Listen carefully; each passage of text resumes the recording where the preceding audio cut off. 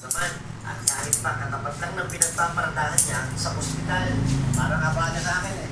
Eh, yun pa, pag isang araw hindi ka bumiyahe sa pagpapadyak, kinabukasan, wala ka lang Nakakatulog na yata eh. Kung siya may magbibigay. Kaya kahit pinihita sa kanyang paningin, sinasawalang pangalan na niya. Ito, ano, para, hindi na ako Papa. Kaya, Kita kita, pero pag marunong ako.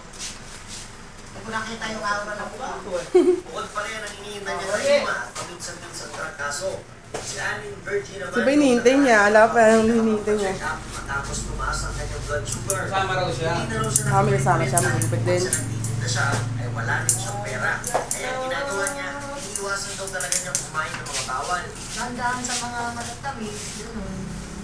Yee. Ng ano mo, pagkain mo. At dulay sa pagkain. Kung siya raw ang tatanungin, mas gusto niyang palagi may tumitingin sa kanyang kalusugan. Bilang pabibigay halaga sa mga senior citizen ngayong Elderly Filipino Week. Ayun. Tulad ng National Commission of Senior Citizens na mabigyan ng gobyerno ang mga senior citizen ng naunang medical check-up. Gusto ng NCSC na mabigyan din sila ng oral, optical and dental check-ups. Ano? Ayon sa NCSC, isa sa bawat sampung Pilipino ngayon ang senior citizen at sa susunod na labing limang taon ay magiging dalawa na ito sa sampu. Kung hindi raw titilos niya para Gusto mo naman na ibiyakin mo sa gitna. Ano. Oh no! Kailangan Oh my God! Pabor pa ako dyan. Kasi katulad pa namin Manila, pogi ano? kung No, vendor lang. pogi. Siyempre, pag inilalamdaman, pa, Yan. Oh no!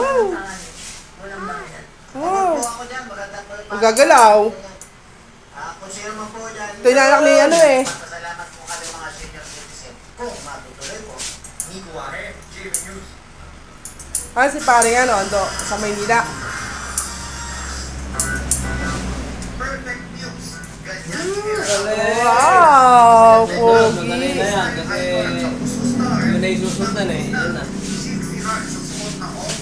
Yay! Unang beses nirampa sa Paris Fashion Week ang redesign ng former Spiker.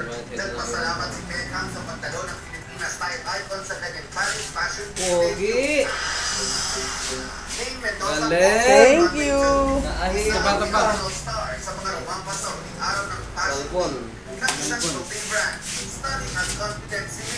Ang red varsity Hmm, gagalaw. crop top, at white cargo pants.